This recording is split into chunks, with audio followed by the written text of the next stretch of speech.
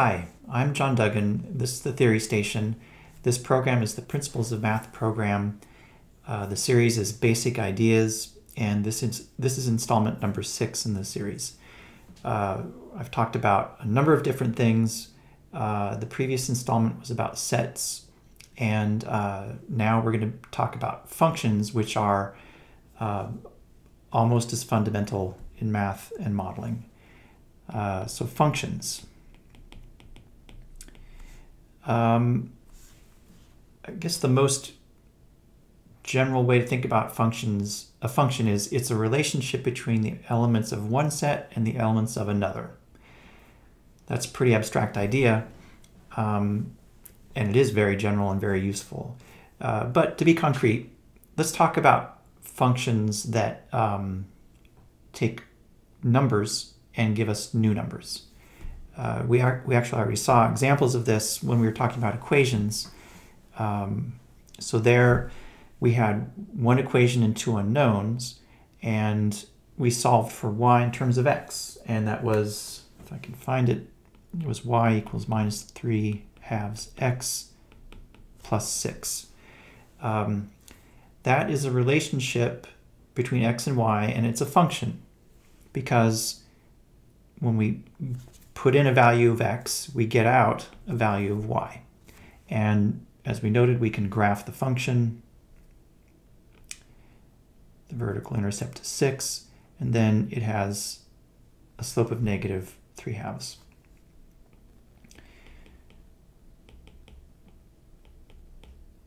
Uh, so, but functions can be much more general. I mean, I can draw all kinds of different functions um, there's a crazy one. Um, it's not a straight line. It's not linear, as we say. Um, but again, if I pick a value of x, this determines a value of y. And um, basically, I could draw any old curve there. The only, as you probably have come across, the only restriction is that I'm not allowed to draw a curve that does not give me a unique value for x. So suppose I have something like this. Um, well, then at x, it gives me this value, but it also gives me this value, and it gives me this one. Uh, that is not a function, at least it's not a function that gives us a number.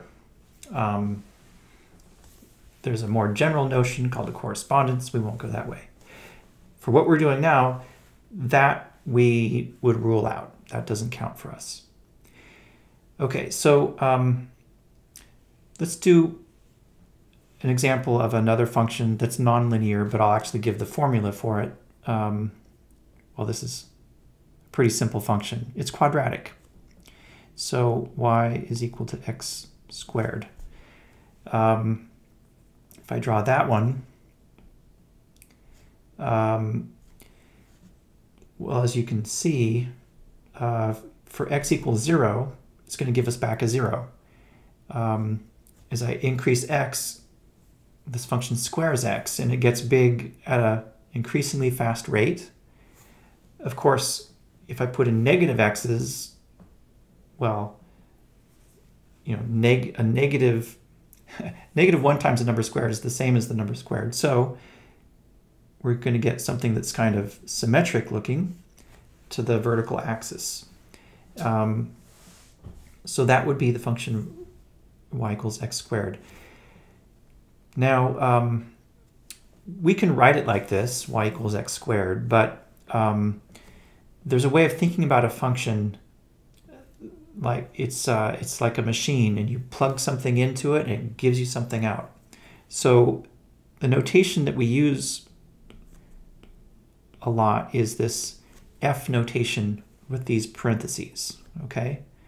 Um, and so what we do is we plug in values in those parentheses and the function is going to give us a new number. So here we're talking about this quadratic function. And the formula for this would be f of x equals x squared. If we plug in an x, we get back out that number squared. Okay, so um, this f kind of notation, this functional notation with the parentheses, super common, and um, that's what we'll stick with. Um, okay, so that's the idea of a function, at least of a single variable. And, um, well, let's just talk a little bit about derivatives. A lot of people have had calculus, um, and so this will be old hat. Maybe this will refresh memories, I don't know. Um, so going back to the quadratic function, we have this kind of shape. And um, if I pick a particular value of x, let's say, you know, x equals 3, um, if I go up to this graph, uh, obviously the graph is curved, but I can sort of see that right at 3, I can think about there being this line leaning up against the graph that touches it but doesn't cross it. Okay, that's called a tangent line. Now, if I ask you what the slope of the graph of this function is, this black curve here, well, it doesn't have just one slope. It has a whole bunch of different slopes. But at 3, I can ask you, what's the slope of that tangent line? That's a line. So, um, so that's a well-defined question. Now, um, so calculus is, is, it's more than just this, but kind of a basic idea is just how do we figure out what the slope of that tangent line is? Um, now, for this, we're actually going to be doing approximations, okay? So we have this tangent line, and um, let me let me blow this up. That doesn't look good. So um, let's suppose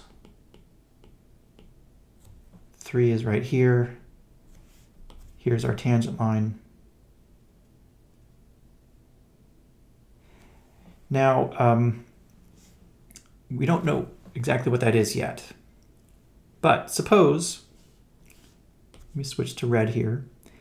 Um, suppose I pick another point on this curve. Um, let's say that's uh, at 4.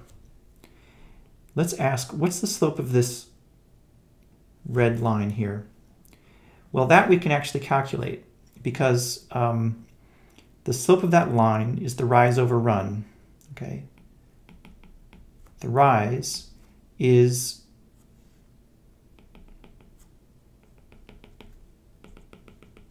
is this value here.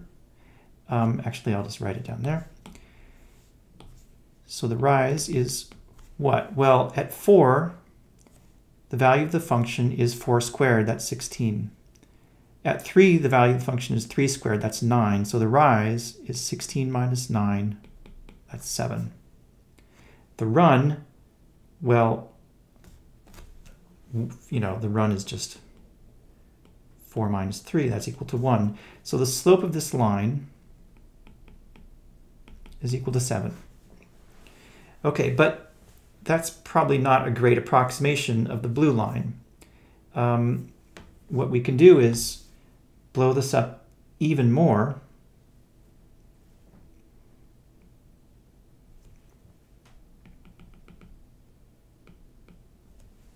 And um, I can pick points on the curve that are closer to 3 than 4. Okay, so maybe 4 is here, but let's pick this point here instead. That's going to give us a better approximation, right? So the here's our tangent line.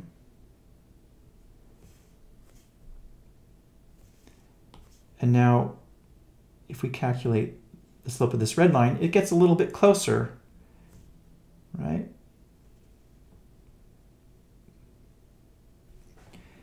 But we can get even closer if we pick a point here. and look at the slope of this red line. And the idea is, if we just pick points closer and closer to 3, we can keep calculating the rise over run. And then we sort of see what happens to that when we get arbitrarily close to 3. Okay, so we're going to pick points closer and closer to 3. So algebraically, what are we going to do? Well,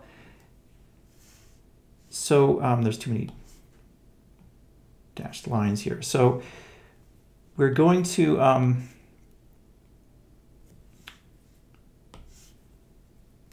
let's say, you know, for whatever point we're looking at, that's a little bit above 3. Um, and now I'm going to make that a variable.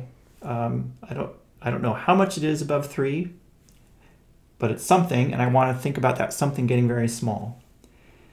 So this increment is a variable. I'm going to call it epsilon. I told you in a previous installment that Greek letters are fun, so here we're going to use a Greek letter. And um, okay, so what is the rise over run here? Well, it's, um, in other words, what is the slope of this red line here? Well, the rise is going to be, um, well, we start off at 3 squared, which is 9. Actually, let's just write it like 3 squared. Okay, at 3, the value of the function is 3 squared. At 3 plus epsilon,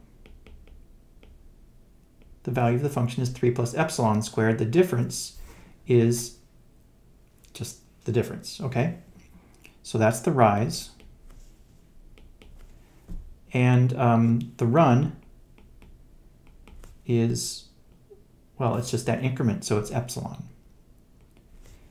So to calculate the slope of the line, we take the rise over run, which is 3 plus epsilon squared minus 3 squared over epsilon. The question is, what happens to that when the increment epsilon becomes small? Well, let's simplify this. Um, let's do it down here. So if we expand 3 plus epsilon squared, we get 3 squared plus um, 6 epsilon plus epsilon squared minus 3 squared and um, clearly the three squareds are going to cancel. And so um, we get uh, 6 epsilon plus epsilon over epsilon. Oh, sorry, that's epsilon squared there. Okay. We can simplify that further if we divide this epsilon and that's going to be equal to 6 plus epsilon. All right, okay, finally, we know the slope of this red line here is equal to 6 plus epsilon. Now, what happens to that slope when epsilon becomes small? Well, it just, you can just see that when epsilon gets small, this quantity just gets close to 6. Okay. And we say that it goes to 6. And now by using these approximations, we've figured out what the slope of that blue tangent line is, right? We couldn't calculate it directly, but we could calculate the red ones. We let that increment epsilon get small, and it turns out to be 6.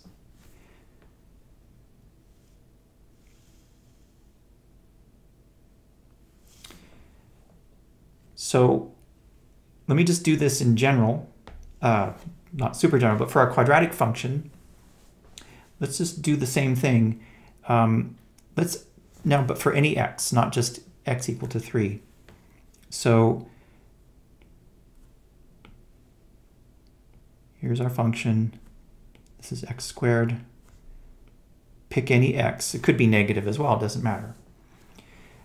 What we're going to do to figure out the slope of that tangent line, it's exactly the same thing.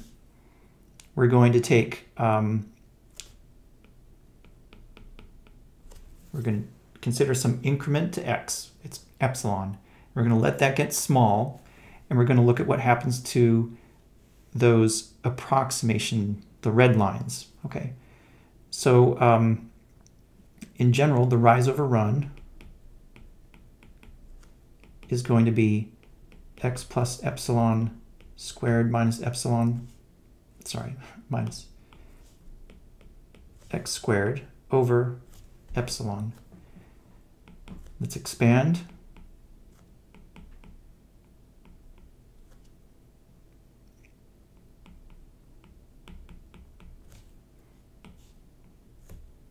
We cancel the x squareds.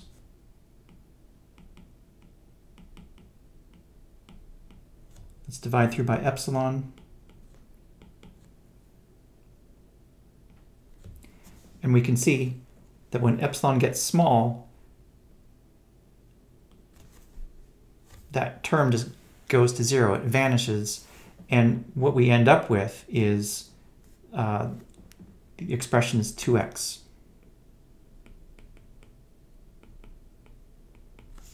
Okay. Um, that expression is called the derivative of the function at x. Um, if we have this notation f,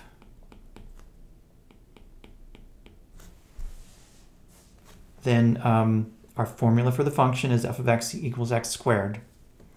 The derivative of the function we just